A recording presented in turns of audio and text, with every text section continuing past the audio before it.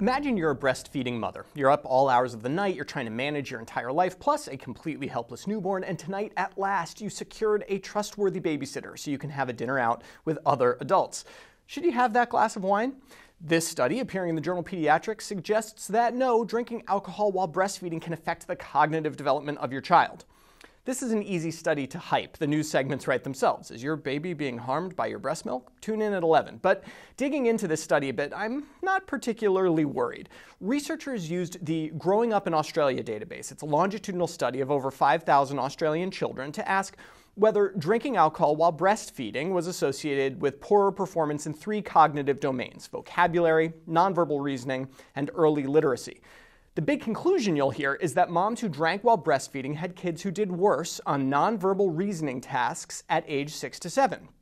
The analysis was done well and adjusted for a lot of other things like drinking during pregnancy, smoking, income, etc. But before we add yet another thing for new moms to feel guilty about, let's look at the data a little more deeply. First, the observed relationship was only seen among moms who had breastfed, but weren't breastfeeding when the baby was enrolled in the study at around 6 to 18 months of age. That's odd, right? I mean, if drinking while breastfeeding is bad, wouldn't the kids who were breastfed more do worse?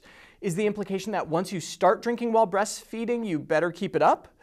Okay, maybe the alcohol in breast milk is only bad early on in life. Maybe, but surely in utero alcohol would have a worse effect.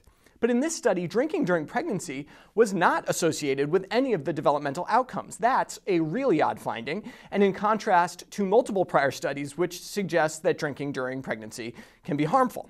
I asked lead author Louisa Gibson about this finding. She suggested that perhaps there was some social desirability bias here. Moms didn't want to admit to drinking while pregnant, so the exposure was muddled.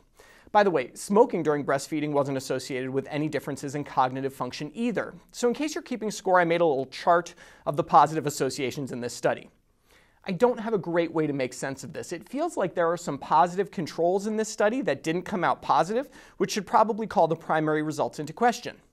Should women drink while breastfeeding? According to the American Academy of Pediatrics, moderation is advised. But in all these studies about young children, the mothers often take a back seat. By focusing so exclusively on the children's outcomes, we end up imposing restrictions on mothers that make them feel like they're completely subservient to the needs of their children. This is not a good thing for moms or their kids, frankly. A happy mom is a good mom. So, breastfeeding moms, I wouldn't let this particular study scare you off from that glass of wine tonight. You've got enough to worry about. For MedPage Today, I'm Perry Wilson.